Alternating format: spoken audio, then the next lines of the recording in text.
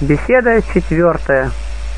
Увещание к народу о твердости и терпении примерами Иова и трех отроков и о воздержании от клятв. Благословен Бог, утешивший ваши скорбящие души, успокоивший ваши метущиеся мысли. А что вы получили достаточное утешение, это показали вы своим усердием и ревностью к слушанию, потому что душа скорбящая и объятая облаком печали не может с охотой слушать наставлений. А вы, я вижу, внимаете мне с великой охотой и с полным усердием, отрясши всю печаль и любовью к слушанию отогнав настоящую скорбь. Потому благодарю Бога вместе с вами, что несчастье не одолело вашего любомудрия, страх не ослабил вашей бодрости, скорбь не погасила вашей ревности, опасность не охладила вашего рвения, страх от людей не победил вашей любви к Богу. Тяжкое время не сокрушило вашего усердия, и не только не сокрушило, но еще укрепило, не только не ослабило, но еще усилило, не только не погасило, но еще более воспламенило опустела площадь, но наполнилась церковь. Та возбуждает печаль, это подает радость и духовное веселье. И потому, возлюбленный, когда ты выйдешь на площадь и вздохнешь, увидев ее пустую, прибегни к матери, и она тотчас утешит тебя множеством своих чад, покажет тебе полный лик братьев и прогонит от тебя всякую печаль. В городе мы ищем людей, как будто живем в пустыне, а когда прибегаем в церковь, нас объемлет многолюдство. Когда море волнуется и ярится от сильной бури, страх принуждает всех убегать оттуда в пристань. Так и теперь волны площади и буря города заставляют всех стекать отовсюду в церковь и связует членов между собой союзом любви. Возблагодарим же Бога и за то, что от скорби мы получили такой плод, что искушение доставило нам такую пользу. Не будь искушения, не было бы и венца. Не будь подвигов, не было бы и наград. Не будь борьбы, не было бы и почести. Не будь скорби, не было бы и утешения. Не будь зимы, не было бы и лета. Это можно видеть не только на людях, но и на самых семенах. И здесь, чтобы мог вырасти тучный колос, нужны большой дождь, большое скопление облаков, большой холод. Время сеяния есть вместе и время дождя. И теперь, когда настала ненастье, не в воздухе, а в душах, посеем и мы во время этого ненастья, чтобы пожать летом. Посеем слезы, чтобы пожать радость. Не я говорю это, но возвещает пророк, сеющие со слезами пожнут с радостью. Не столько дождь, падающий на семена, помогает им прозябать и возрастать, сколько дождь слезный возвращает и приводит в зрелость семя благочестия. Он очищает душу, орошает ум и помогает быстро возрастать семени учения. Для этого надо проводить и глубокую борозду, чему убеждает и пророк, говоря так, Иеремия 4.3. «Распашите себе новые нивы и не сейте между тернами».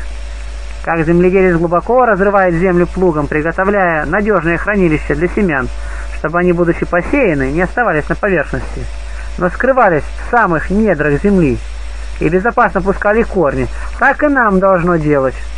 И скорбью, как бы плугом, разрыть глубину сердца. К этому убеждает и другой пророк, говоря, «Расторгните сердца ваши, а не ризы ваши». Расторгнем же сердца, чтобы, если в нас есть какое-нибудь худое растение и лукавый помысл, исторгнуть его с корнем и очистив нивы для семян благочестия. Если теперь не обновим Ниву, если теперь не посеем, если теперь не прольем слез, когда у нас скорбь и пост, какое же другое время предадимся сокрушению? Уже ли во время покоя и веселья? Но это невозможно, потому что покой и веселье обыкновенно ведут к беспечности, так как скорбь приводит к заботливости и заставляет душу рассеянную – вовне и развлеченный многими предметами обращаться к самой себе.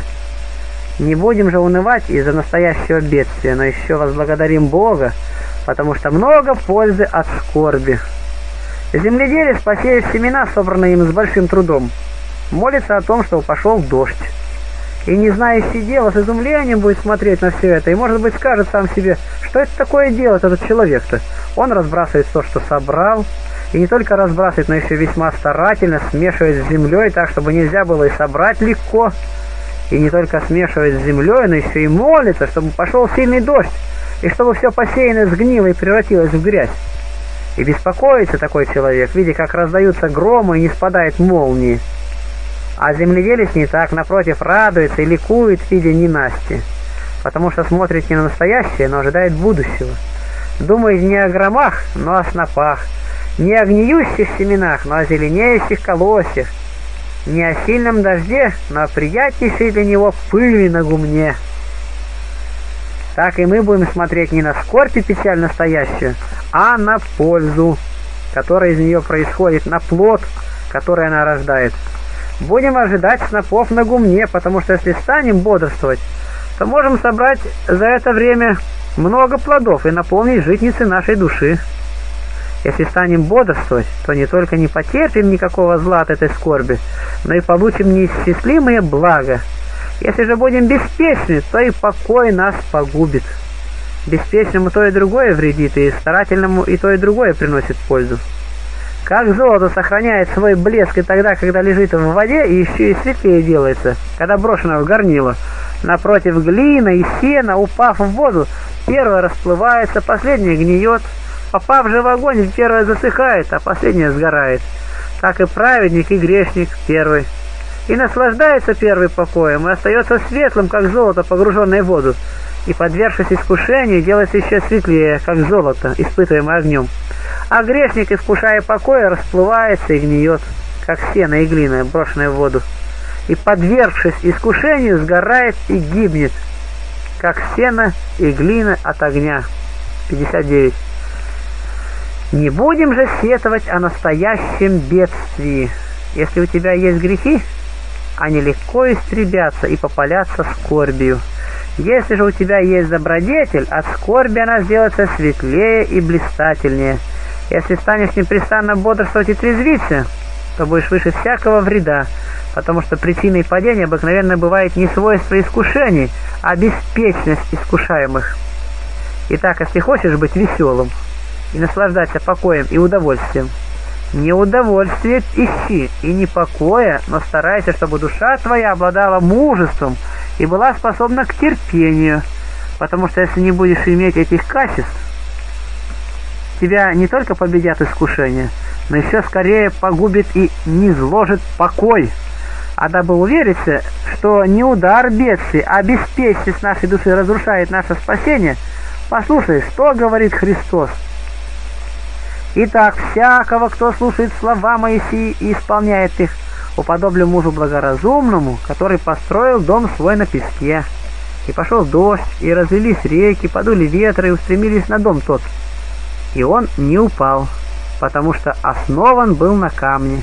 А всякий, кто слушает сии слова мои и не исполняет их, уподобится человеку безрассудному, который построил дом свой на песке.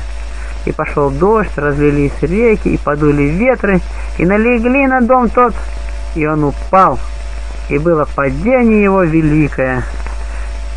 Видишь, что не удары искушения, а неразумие строителей было причиной падения, потому что и там дождь, и здесь дождь, и там реки, и здесь реки, и там напоры ветров, и здесь то же самое. И тот строил, и этот строил. То же строение и те же искушения, но не одинаков конец, потому что не одинаково основание. Как, таким образом, не свойства искушений – а неразумие строившего было причиной падения, иначе бы должен был упасть и дом, построенный на камне. Но вот он не потерпел ничего такого. Но не думайте, что это сказано о доме. Речь идет о душе, которая слушает Слово Божие делами или подтверждает его, или отвергает. Так устроил дом свой, душ, своей души Иов. Пошел дождь, то есть не спал с неба огонь, и истребил все стада, Разлились реки, то есть часто, непрерывно, один за другим следовавшие вестники бедствия, которые говорили о погибели. Один стад, другой верблюдов, третий детей. Надули ветры, жестокие слова жены, сказавшей, Скажи только слово против Господа и умри. И не пало, пал дом. Не приткнулась душа, не произнес хулый праведник, но еще и возблагодарил, и сказал, Господь дал, Господь и взял, да будет имя Господне благословенно. Он сделал, как хотел. Видишь ли, что не свойство искушения, а небрежность беспечных обыкновенно бывает причиной падения. А крепкого скорбь делать еще более крепким. Кто сказал это? Воспитанный скорби блаженный Павел. Он так говорил – Римлянам 5 глава, 3-4 стихи. «И не сим только, но хвалимся и скорбями, зная, что от скорби происходит терпение, от терпения опытность, от опытности надежда». Как крепких деревьев не вырывает с корнем порывы ветра, сколько бы ни устремлялись на них, не нападали со всех сторон. Напротив, делает их через эти напоры еще более твердыми и крепкими – так и душу святую, живущую благочестиво, напоры, искушения и скорбей не низвергают, но возбуждает еще к большему терпению, как и блаженного Иова сделали они еще более славным и достостимым. Теперь человек гневается на нас. Человек подобострастный, имеющий такую же, как и мы, душу, и мы страшимся.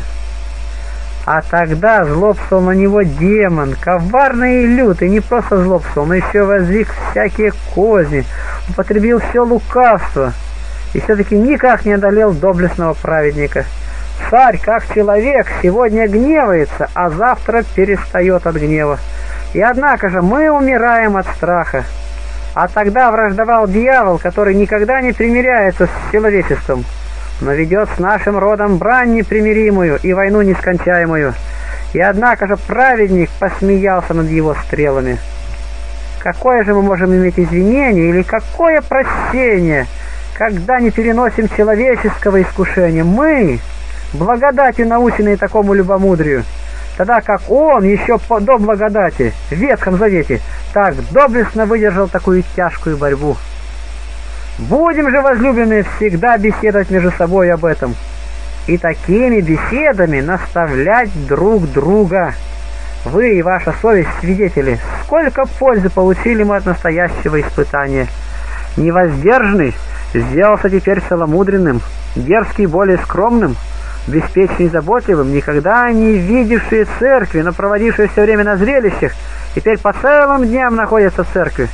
Уже ли ты, скажи мне, скорбишь о том, что Бог посредством страха сделал тебя старательным, через скорбь привел тебя к мысли о своем спасении? Но твоя совесть мучится, твое сердце терзается каждый день, ожидая смерти и лютейшей казни. И от этого будет у нас великое приращение в добродетели, так как скорбью увеличивается наше благочестие. Бог может и сегодня же прекратить все бедствия но не прекратить скорби, пока не увидит, что мы очистились, пока не увидит, что в нас произошла перемена и наступило покаяние, твердое и непоколебимое. И золотых дел мастер не вынимает золото из горна, пока не увидит, что оно хорошо очистилось. Так и Бог не отведет этой тучи, пока совершенно не исправит нас. Попустивший испытание сам знает и время, когда положить конец испытанию играющий на цитре и не слишком натягивает струну, чтобы не оборвать ее, и не ослабляет через меру, чтобы не расстроить гармонического созвучия. Так поступает и Бог, не оставляет нашей души ни в постоянном покое, ни в продолжительной скорби, устрояет то и другое по своей мудрости. Он не попускает нам наслаждаться всегда покоем, чтобы мы не сделались беспечнее, но не попускает также быть и в непрерывной скорби, чтобы мы не упали духом и не пришли в отчаяние. 61. Итак, ему представим время прекращения бедствий, а сами будем только молиться, сами будем жить благочестиво, потому что наше дело обратиться к добродетели, а прекратить бедствие – дело Божие. Бог сильнее, чем ты, подверженный испытанию, хочет погасить этот огонь но он ожидает своего спасения. Поэтому, как от покоя произошла скорбь, так и от скорби надобно ожидать покоя. Не всегда зима и не всегда лето, не всегда волны и не всегда тишина. Не всегда ночь, не всегда день, так и не всегда скорбь. Но наступит и покой, если только мы будем во время скорби непрестанно благодарить Бога. Три отрока были вернуты в печь, и, несмотря на это, не забыли благочестия. Их не устрашил пламень, но объятые огнем, они усерднее сидящих в чертоге и не терпящих никакого зла, воссылали священные те молитвы. Потому огонь сделался для них стеною, пламень одеждою и печь источником. Приняв их связанными, она возвратила их разрешенными, приняла тела смертные и не коснулась их, как бессмертных. Не познала природы, но почтила благочестие. Мучитель связал ноги, а ноги связали силу огня. О, чудное дело! Узников разрешил пламень, а сам потом был связан узниками. Благочестие отроков изменило природу вещей, а лучше сказать, не природу изменило, но что еще удивительнее, не изменяя природу, остановила ее действие. Оно не угасило огня, но заставило его и горя не оказывать своей силы. И что так же чудно и дивно, это случилось не только с телами святых, но и с их одеждой и обувью. Как у апостолов, одежды Павла прогоняли болезни и демонов, и тень Петра обращала в бегство смерть. Так и здесь обувь этих отроков погасила огонь. Не знаю, как и сказать, потому что чудо превышает всякий рассказ. Огонь и угасал, и не угасал.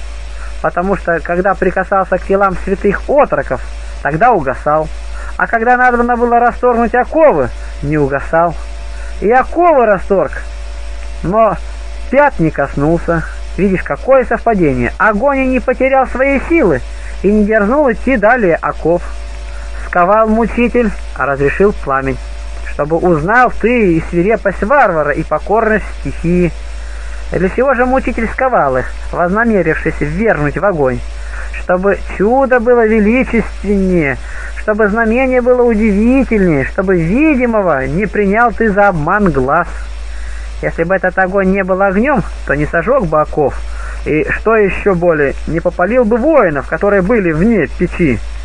А теперь он не бывших вне, на бывших там показал силу, а на бывших внутри печи обнаружил свою покорность. А ты примечай везде, как дьявол тем, чем вооружается против рабов Божиих, разрушает собственную силу. Не по своей воле, но потому что премудрый и благоустрояющий Бог обращает его оружие и хитрости на его же голову. Что здесь и случилось. Дьявол, по внушениям которого действовал тогда мучитель, не попустил ни обезглавить святых мечом, ни предать их зверям, ни казнить другим каким-либо подобным способом, но внушил вернуть их в огонь, чтобы не сохранились даже и останки святых отроков, когда уничтожатся их тела, и их пепел смешается с пеплом дров. Но Бог это самое обратил к низложению нечестия, и вот каким образом – Огонь персов признается богом, и варвары, живущие в той стране, еще теперь воздают ему поклонение. И потому Бог, желая не изложить нечестие в самом основании, попустил такой род казни, чтобы даровать победу своим рабам перед глазами всех поклонников огня и убедить их самым делом, что боги язычников боятся не только Бога, но и рабов Божиих. 62. Еще заметь, как неприятели сплетает венец победный, как сами враги делаются свидетелями торжества. Даниила 3.2.3 И послал царь Навуходоносор собрать сатрапов, наместников, воевод, верховных судей, казнохранителей, законоведцев, блюстителей суда и всех областных правителей, чтобы они пришли на торжественное открытие истукана, который поставил царь Навуходоносор. И собрались сатрапы, наместники, военачальники, верховные судьи, казнохранители, законовецы, блюстители суда и все областные правители на открытие истукана, который Навуходоносор царь поставил, и стали перед истуканом, который воздвиг Навуходоносор. Враг составляет зрелище, сам собирает зрителей, сам назначает состязание и составляет зрелище не из случайных, не из простых людей, но все из почетнейших и начальствующих, чтобы свидетельство их было более достоверно для народа. Созданы были все для одного, а увидели другое. Пришли поклониться истукану, а ушли с презрением к нему, быв поражены Божьей силой, открывшейся в чудесных событиях с отроками. И заметь, где было устроено зрелище? Не в городе, не в каком-нибудь селении, но на полях ровных и открытых устрояет это публичное зрелище. На поле Деира. Вне города поставлен был истукан. И вестник повсюду, проходя, взывал, глашатай громко, объявляя всем народам, племенам и языкам, в то время, как услышите звук трубы, свирели, цитры, цевницы, гусли, симфонии и всяких музыкальных орудий, подите и поклонитесь золотому истукану, который поставил царь Навуходоносор. В самом деле, поклониться идолу значило пасть. В то время, в тот час, кто не поклонится, будет брошен в огонь, печь горящую. Видишь, какая трудная борьба, какая непреодолимая сеть, какая глубокая пропасть и стремнина с той и другой стороны. Но не бойся, чем больше козни употребит враг, тем более обнаружит он мужество отроков. Для того приготовлено было согласие столь многих музыкальных орудий, для того разжженная печь, чтобы душами зрителей овладело или удовольствие, или страх. Тверд и непреклонен кто из предстоящих? «Пусть смягчит его», — говорил мучитель, — «очаровательная мелодия стройной музыки». Стоит он выше этой сети, пусть же устрашит и поразит его вид пламени. Так действовал и страх, и удовольствие. Удовольствие вкрадывалось в душу посредством слуха, страх посредством зрения. Однако же ни то, ни другое не победило мужество отроков. Но как вверженные в огонь они одолели пламень, так посмеялись и над всяким удовольствием и страхом. Все это для них приготовил дьявол, потому что не сомневался в подданных царя. Напротив, был твердо уверен, что никто из них не воспротивится царскому повелению. Но когда все пали и были побеждены, тогда выводятся на средину одни отроки, чтобы и от этого самого победа была блистательнее, что они побеждают и являются торжествующими среди такого множества народа. Не так было бы удивительно, если бы они показали мужество, явившись первыми, пока никто еще не приткнулся. Но то весьма велико и чудно, что множество падших не устрашило и не ослабило их. И не сказали они друг другу что-нибудь такое, что многие привыкли часто говорить, если бы мы первые и одни решились поклониться истукану, то наш поступок был бы достоин обвинения. Если же мы делаем это вместе со столь многими тысячами, то кто нас не простит, кто не сочтет достойными извинения? Нет. Увидя падение столь многих своих мучителей, ничего такого не сказали и не подумали они. Посмотри на злобу обвинителей, как они хитро и жестоко обвиняли отроков. Есть мужи иудейские, которых ты поставил над делами страны Вавилонской, Седрах, Месах и Авдинага. Эти мужи не повинуются повелению твоему, царь, богам твоим не служат, и золотому истукану, который ты поставил, не поклоняются. Даниила 3.12. Не просто напомнили об их происхождении, но упомянули и о почести, для того, чтобы воспламенить в царе гнев. Они как бы так говорили, рабов, пленных, лишенных отечества сделал ты нашими начальниками, а они эту честь презирают и оскорбляют того, кто удостоил их такой чести. Поэтому говорят, мужи из иудейские, которых ты поставил над делами рук наших. Обвинение это – величайшая похвала, укоризны эти – одобрение и свидетельство несомненное, потому что его представляют сами враги. Что же царь? Он повелел вывести их на середину, чтобы устрашить всячески.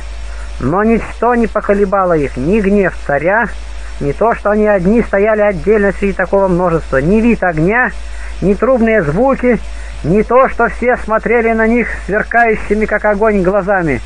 Но посмеявшись над всем этим, они, как бы сбираясь, броситься в струи прохладного источника, вошли в печь, произнося блаженные эти слова.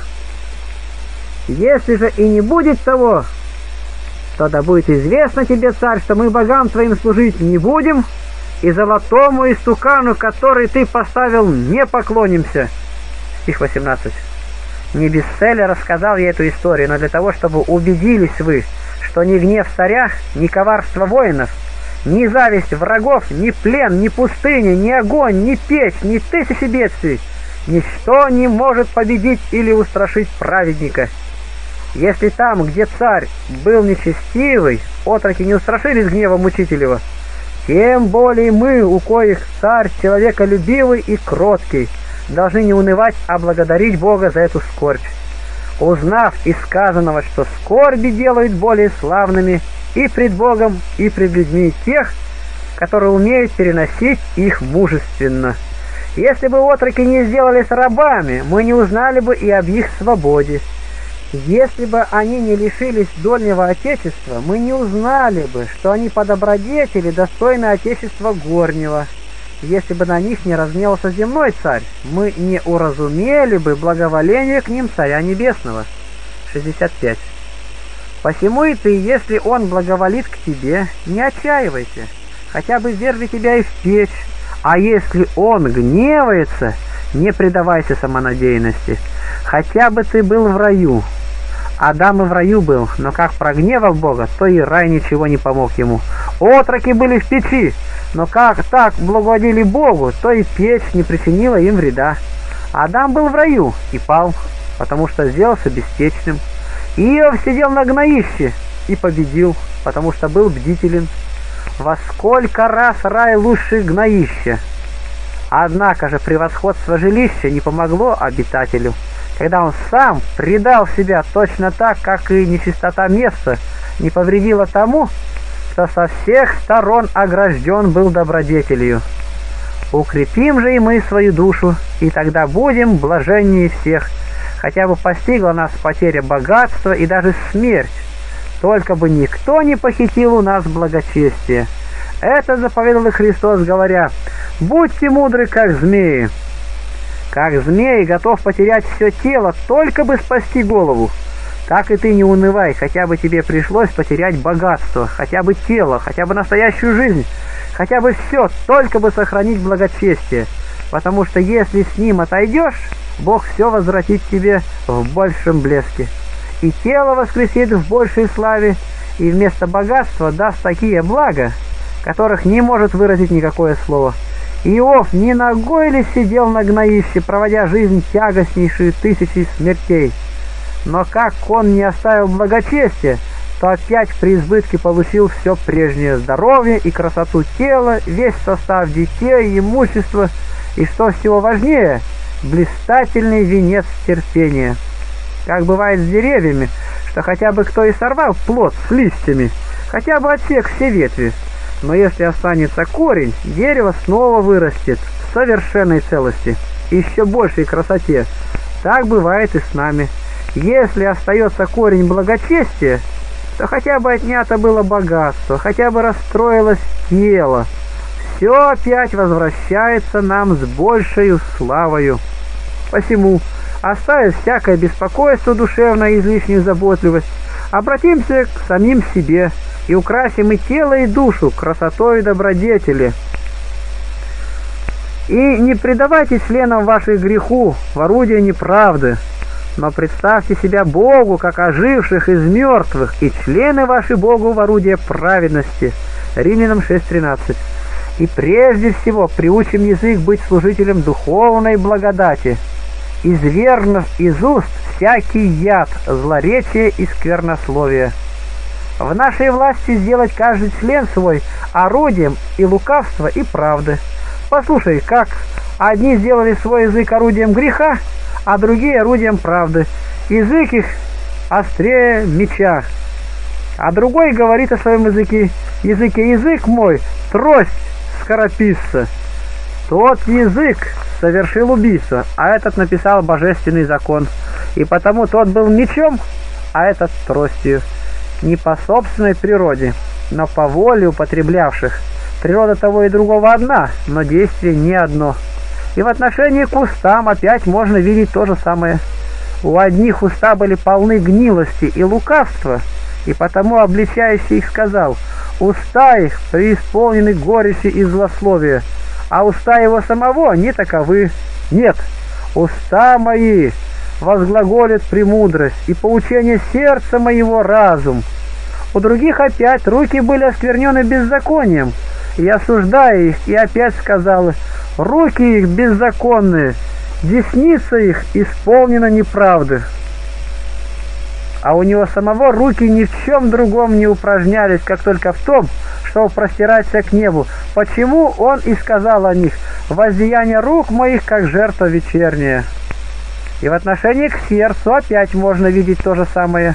У тех сердце суетно, а у него истина. И потому об их сердце он говорит, сердце их суетно, о своем, отверзу уста мои в притче. То же самое можно видеть и в отношении к слуху. Те имели слух зверский, безжалостный и неумолимый. И осуждая их, он сказал, яд аспида, как аспид глухой, и затыкает уши свои а у него слух был местилищем Слова Божия, что самое и показал он, говоря, «Преклоню в притчу ухо мое, на гуслях открою загадку мою». 66. Итак, зная это, оградим себя со всех сторон добродетелью, и этим отвратим гнев Божий. Сделаем члены нашего тела орудиями правды, приучим и глаза, и уста, и руки, и ноги, и сердце, и язык, и все тело служить одной добродетели. Вспомним я тех трех заповедях, о которых говорил я вашей любви, когда внушал ни с кем не быть во вражде, не говорить худо о ком-либо из оскорбивших вас, и изринуть из уст ваших греховную привычку клясться. О других двух заповедях поговорим в другое время. А в продолжении всей настоящей недели – Будем говорить вам о клятвах, полагая начало заповедей, заповеди более легкой. Совсем не трудно победить привычку клясться, если захотим приложить хоть немного старания, делая друг другу напоминания, вразумления, замечания, а забывающих подвергая взысканию и ответственности. И что за польза нам воздерживаться от пищи, если не изгоним из души порочных привычек? Вот теперь целый день провели мы без пищи, а вечером поставим себе трапезу, не похожую на вчерашнюю, но уже другую, более скромную. Но может ли кто из нас сказать, что он сегодня переменил и жизнь свою, как и трапезу, что отменил и порочную привычку, как и пищу? Не думаю. Что же нам за польза от поста? Поэтому убеждаю и не перестану убеждать, чтобы вы, взяв каждую заповедь отдельно, два-три дня употребляли на ее исполнение. Иные соревнуют друг другу в воздержании от яства и вступают между собой в чудное состязание. Одни целые два дня провождают без пищи, а другие, удалив со своего стола не только вино и масло, но и всякое варево, во всю четыредесятницу употребляют только хлеб и воду. Так и мы станем состязаться друг с другом, чтобы искоренить употребление клятв.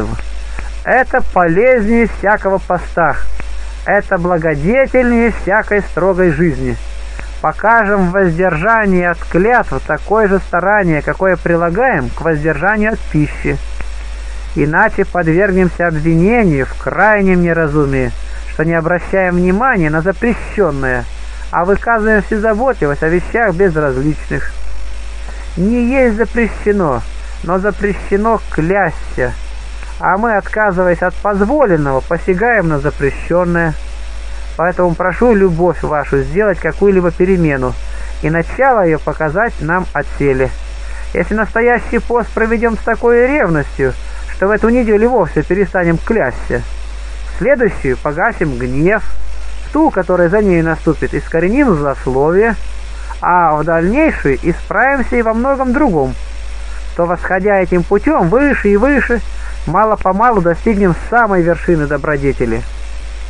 Тогда и избегнем настоящей опасности, и умилостивым Бога, и возвратится в наш город многолюдство, и убежавших теперь научим верять надежду нашего спасения не местам безопасным, не какому-нибудь убежищу и уединению, но душевному благочестию и добрым нравам, Таким образом, мы достигнем и земных, и небесных благ, которых да удостоимся все мы благодатью и человеколюбием Господа нашего Иисуса Христа, через которого и с которым слава Отцу со Святым Духом, ныне и присно, и во веки веков.